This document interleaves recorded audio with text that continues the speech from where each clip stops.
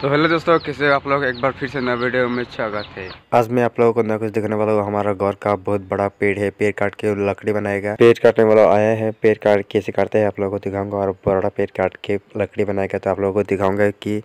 पेड़ से लकड़ी कैसे बनाते हैं तो हाथों से बनाएगा तो आप लोगों को दिखाऊंगा पेड़ की लकड़ी